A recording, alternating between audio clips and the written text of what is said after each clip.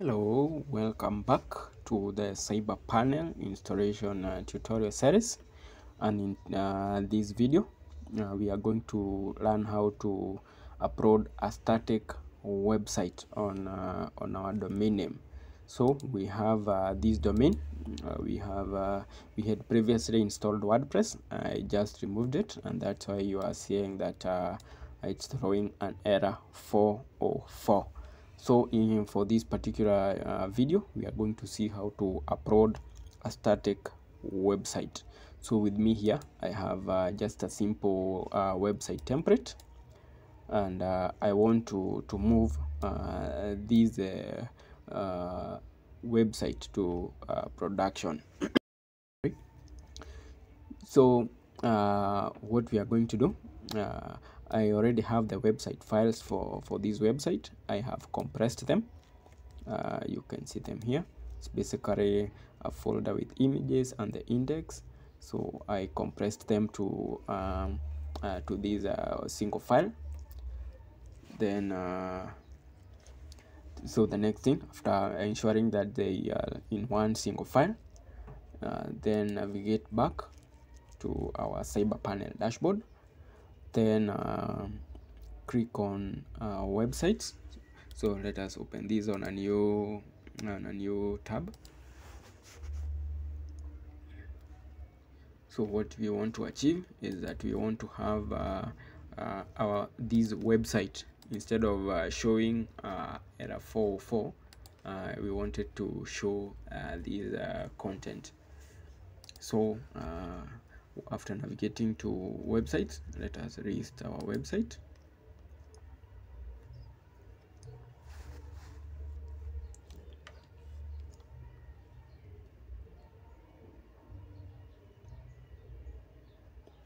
Then we have uh, this option. I have the file manager option. Click on that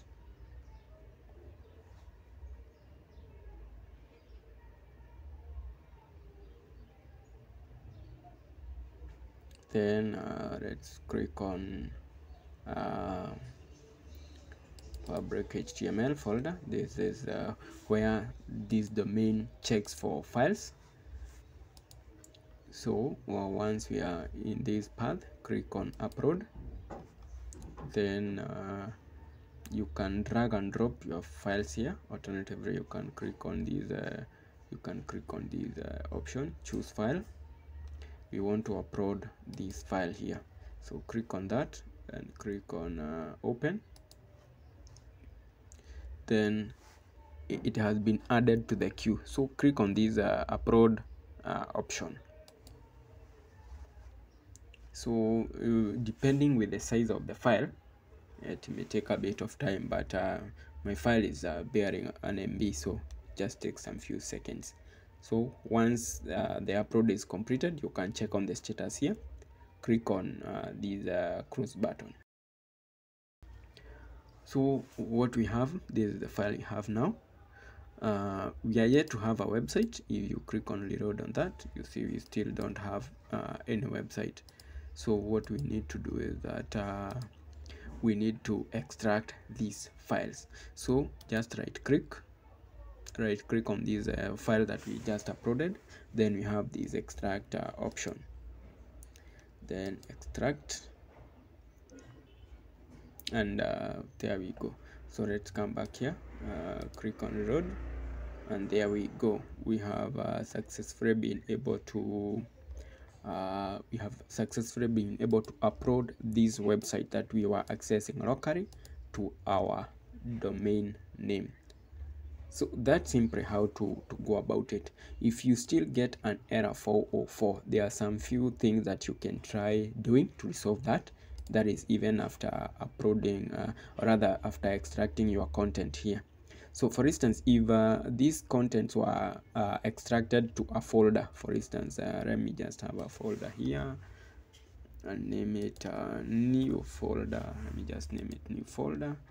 Then uh, I have uh, huh. let me move. I want to move these files to this new folder that we just created so that we're able to see whatever we get and how we can work around that.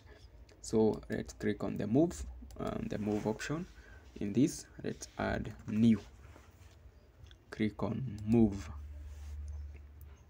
So our files now are under this uh, folder so let's come to our domain name here and click on reload. So you see what we are getting? We get uh, an error 404 so if you uh, for instance if you have uh, after extracting the files and they were uh, uh, they were uploaded in another folder you need to get into that folder. So we are here in the new folder and uh, select all then move them to uh, public HTML. Alternatively, you can access uh, your domain name slash the folder that uh, you uh, you uploaded your website. But I believe this is not what you intend. So uh, let us just move these files uh, to the root folder, which is the public HTML. So let's go back so we, we are we are able to resolve that. But even if uh, for instance there are some scenarios that uh, even after moving your files to the root directory you still get an error 404 this could be uh, a permission issue. So what you need to do just uh, click on this uh, button here select all and uh, click on fix permissions. This will fix the permissions for these files and you'll be able to access your domain name. Uh, that's simply how to uh, upload a static website on your uh, uh on your domain name. Basically this is uh, an index uh, rather it's it's a website built on html and some styling. If it was a, a php website and the same process the same process works. But you can also check on the, on uh, how to upload the various uh, uh, types of websites. If uh, your, your type of website you have a challenge uploading it please um, comment in the comment section and we'll be able to uh, uh, to do a guide for that particular website. Thank you for watching and i'll see you in the next video. Bye bye